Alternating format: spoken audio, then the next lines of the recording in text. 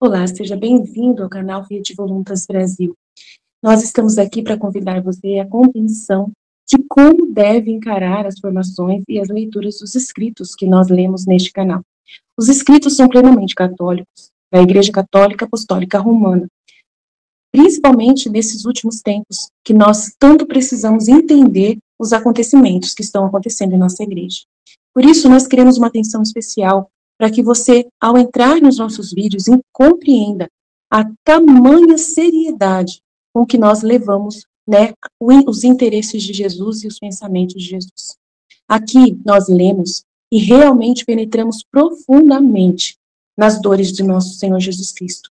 Nós temos verdadeiramente uma intimidade com Ele e estamos buscando ajudar as pessoas que querem essa santidade de, de viver na vontade divina, ensinada a, por Deus, por Jesus Cristo, a serva de Deus Luísa Picarreta, que foi acompanhada com muitos padres da Igreja Católica. E ela recebeu uma santidade, um dom para esses tempos muito importante, que é o de viver na vontade divina, que é totalmente diferente do que a igreja conheceu nesses dois mil anos. Não é seguir doutrina cegamente, regras cegamente, mas sim conhecer plenamente o coração de Jesus e obedecer os interesses de Deus para o aqui e agora, numa intimidade concreta, né, vivendo uma santidade que nunca existiu, só existiu na vida de Maria e de Jesus e da Luísa.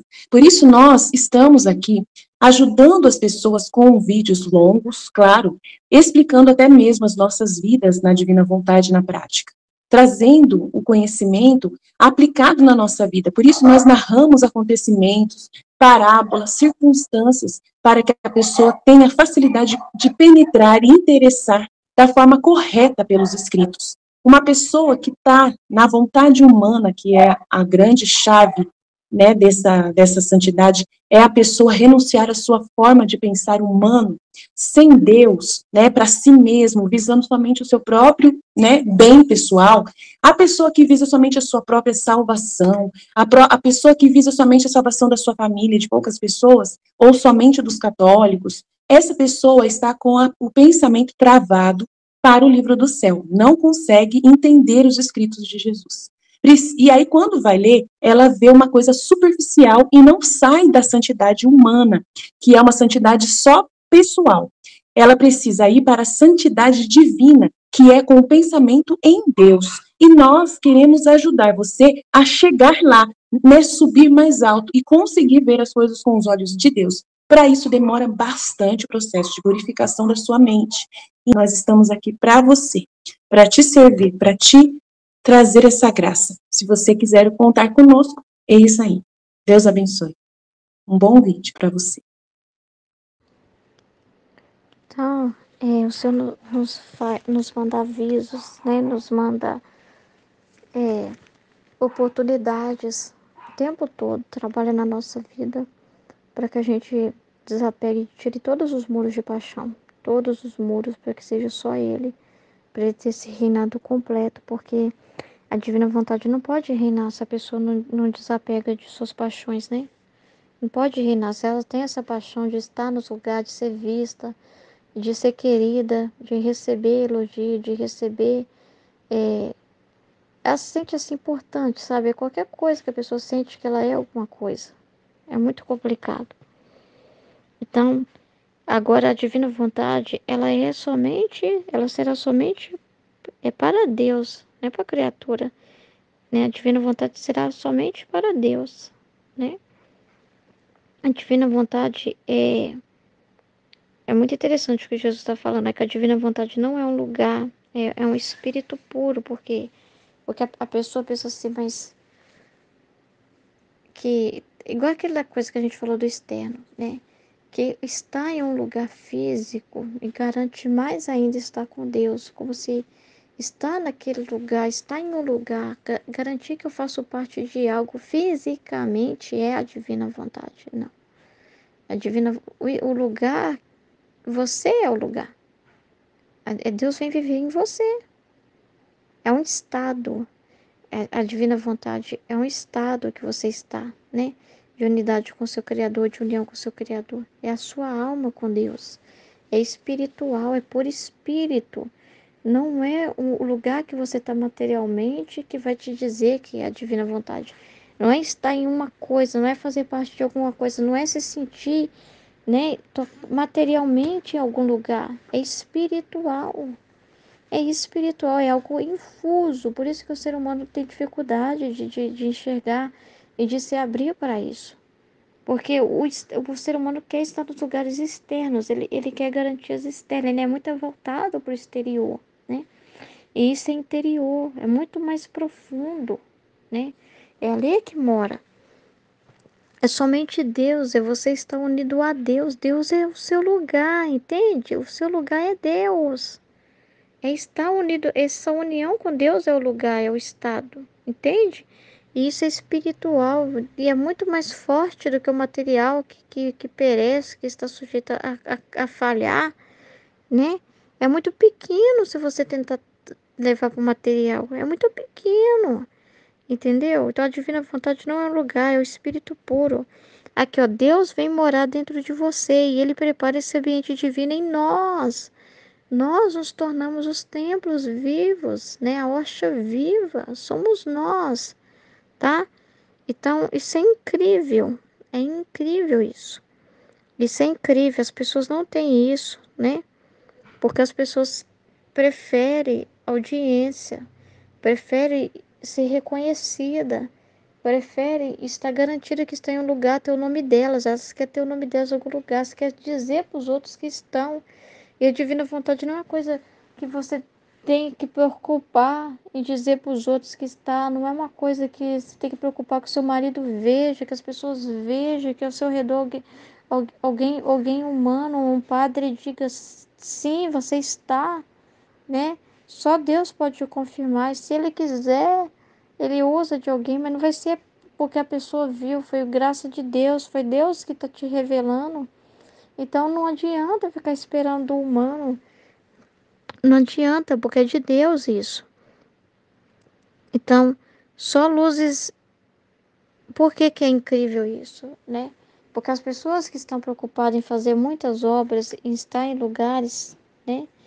Elas não estão totalmente fundidas com a vontade de Deus, elas tá, têm a vontade humana delas, né? Fazendo tudo, preocupando com mérito, né? Então é elas não, não conseguem ficar em, totalmente em paz, sabendo que Deus quer viver dentro delas.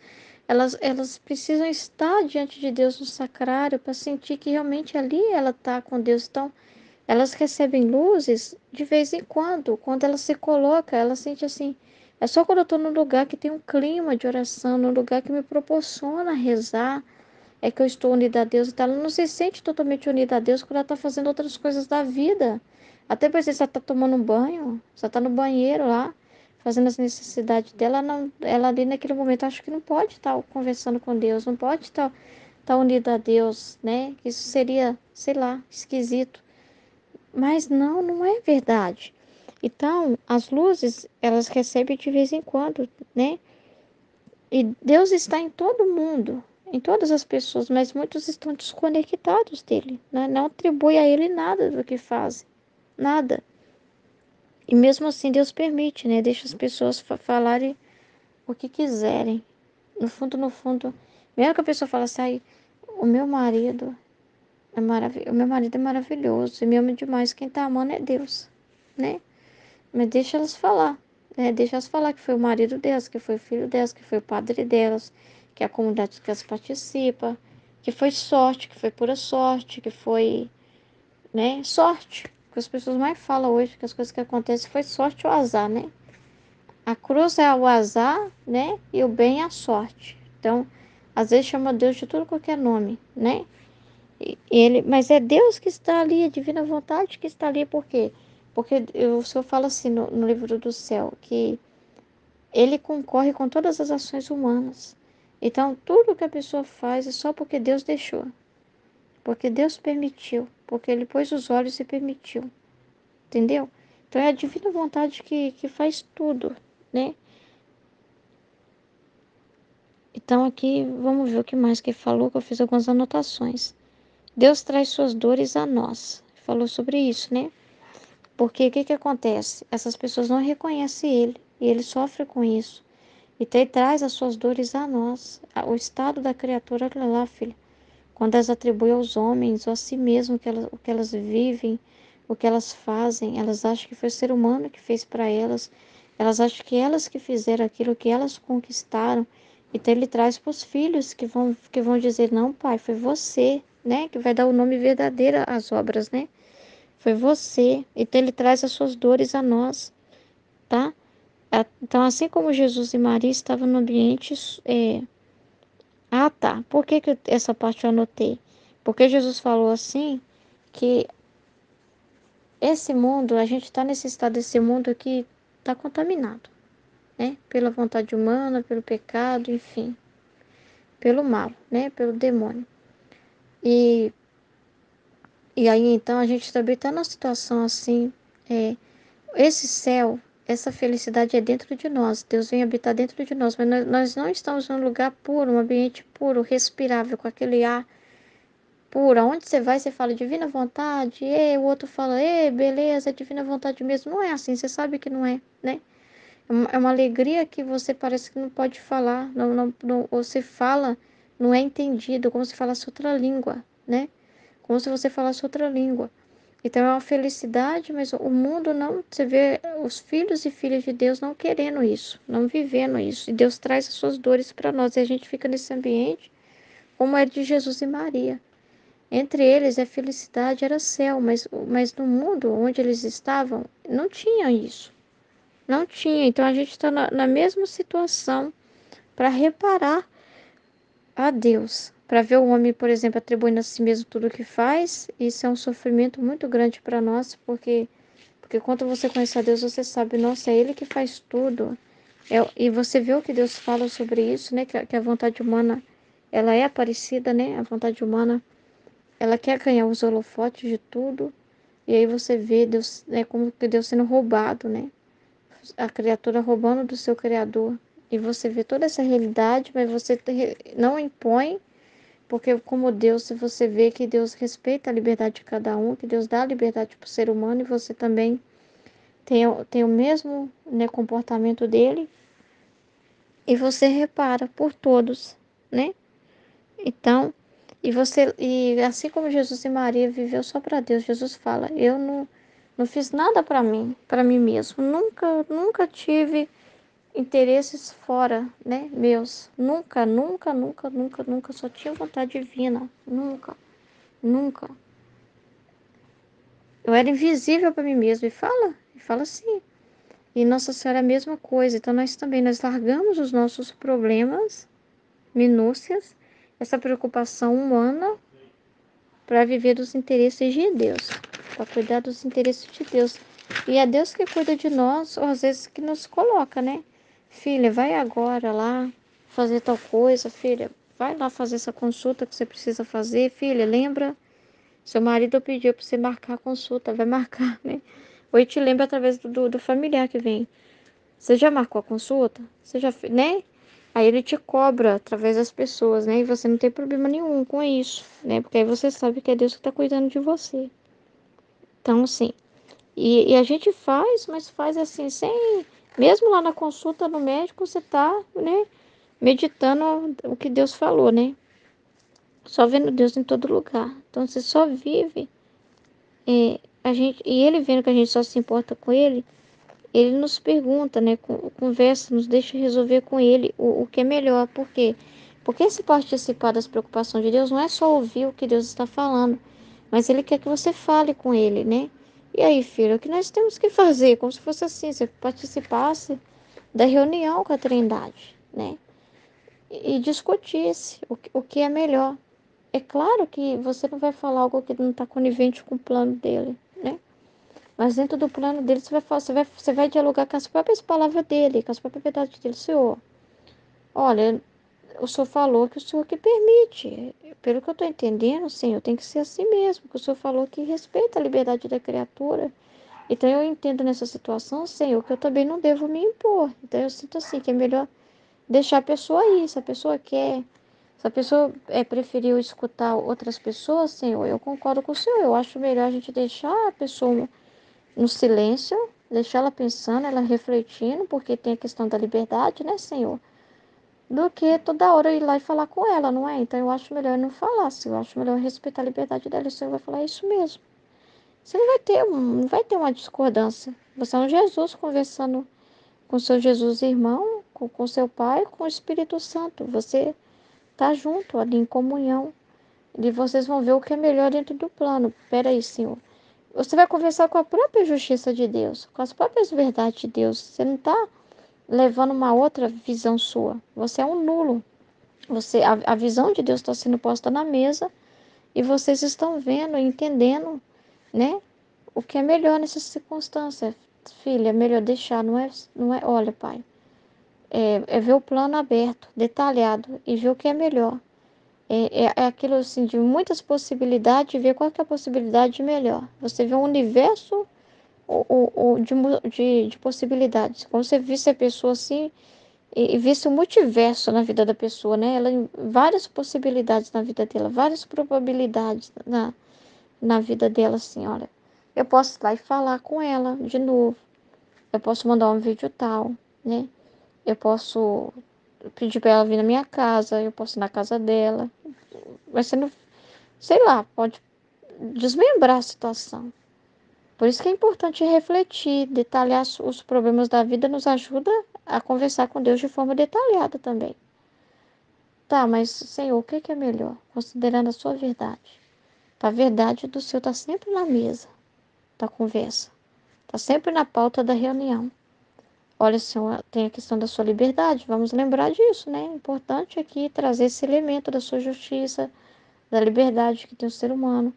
Que a pessoa tem que. Ah, se o senhor fala que é até perigoso a pessoa pecar contra o Espírito Santo, ou se ela está no lugar, no ambiente, ela não está acreditando.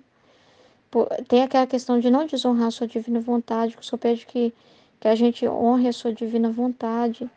E, e a gente sabe, Senhor, que se a pessoa está ali, mas não já já está pegando tudo que está sendo falado e está levando para alguém, para outros terceiros dizer alguma coisa, e isso já é maléfico, né? Isso está errado e a gente tem um zelo com as suas verdades, não é para você jogar aos porcos. A pessoa tá querendo esperar a gente cair, né? Tá te esperando uma conversa torta aqui e ali para ela usar contra nós. Senhor, isso é muito sério, Senhor, a gente não pode as pessoas que estão ali precisam ter compromisso de verdade, né? Então, assim, tem um zelo, a, a sua vontade divina não, não pode pegar isso e jogar como esse destratado, é um pecado contra o Espírito Santo. E o Senhor, quer, o Senhor não quer perder a alma, o Senhor prefere que a alma viva na santidade humana do que perder ela. O Senhor não vai querer que essa pessoa se, se perca. Talvez nem na santidade humana pode viver se ela vive, pecar desse jeito gravemente. Então, então, Senhor, eu tenho um trecho, né, Senhor, da sua verdade, que o Senhor fala que fecha os, os véus da pessoa, porque ela não está pronta. O Senhor só dá o conhecimento quando ela está pronta e disponível para obedecer. Se o Senhor vê que no coração dela ela não vai acreditar, ela não vai obedecer, não tem porque o Senhor dá aquele conhecimento. Então, por isso que o Senhor não está dando para ela as luzes, o Senhor permitiu o coração dela se endurecer, né? Ah, Senhor, então o que, que é melhor nessa situação? Pelo que nós estamos vendo aqui juntos, é deixar mesmo, né? Aí Jesus fala assim, filho, eu quero que você silencie essa pessoa por um tempo, deixe ela pensar, ela não está conseguindo ouvir agora, está muito dura, muito fechada. E quando ela vê só ela mesma, com seus argumentos, com suas opiniões, ela não vai conseguir ouvir, então não, nós não perdemos tempo, você sabe disso, filha, que na divina vontade a gente não joga a conversa fora. E os ouvidos dela estão totalmente fechados, porque ela está paralisada por causa dessa paixão e ela precisa resolver isso. Então é melhor, filha, dar um tempo mesmo. Aí você vai ver o que é melhor no plano e concorda. E, e você pode debater e conversar para entender como alguém que não tem medo de Deus, nem vê maldade nenhuma, não tem uma conversa assim. Se Deus falar assim, pode bloquear, você não vê maldade nisso. Porque você entende que você não vive por humano para falar que coisa feia, que pecado quanto próxima e não sei o que, não sei o que. Não, foi um bem que está sendo feito porque essa pessoa não está aberta. Então, é, é pro bem dela. É próprio Deus que pediu, né? Entendeu? E aí você participa dos colóquios com Deus, né? Resol... Você é uma solucionadora junto, uma reparadora, solucionadora, trabalhadora né? Que coopera com o plano. Para cooperar com o plano, você tem que sentar na mesa e entender o plano, né? Então, é muito incrível. É muito incrível, gente. Por quê? Por que, que Deus fecha, né? Por que, que Deus permite? Porque a, a paixão cega a pessoa. Aqui, ó, e Deus vendo isso, Ele permite e deixa a pessoa ir, pois ela não está pronta para ver. Ela não está disposta. Não tem como Deus dar uma luz para alguém que não está disposto a, a, assumir aquela luz. A luz pode se tornar até um fardo para a pessoa, queimar ela. Em vez de iluminar ela, vai queimar. Porque ela não, não está aberta para ver aquilo ela está totalmente cega pela sua própria visão, né? Então é um bem, é uma, é uma forma de preservar, sabe? Que Deus não quer perder aquela alma, né? Então, o que, que é amar a Deus, né? Amar a Deus para ser morada dele é desapegar de si, né?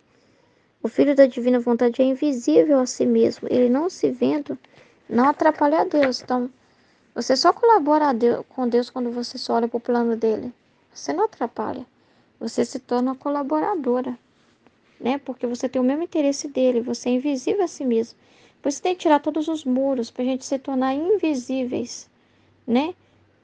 Ele fala que tem que tornar a alma transparente, cristal, para a luz passar por ela sem, sem ter nenhum empecilho, né? Ser uma pessoa simples, que conversa com Deus de um jeito simples, que resolve as coisas rápido, do melhor jeito possível né? Sem oposição a ele, vendo só amor e bondade e justiça, né? Amando a justiça dele quando Deus fala, filho, agora é a justiça. Amém, pai, entendi, porque é melhor mesmo, né? Agora é misericórdia, filha, nesse caso. Amém, pai, é isso mesmo. Entendeu? Alguém que não atrapalha, alguém que só colabora, que participa junto. Amém?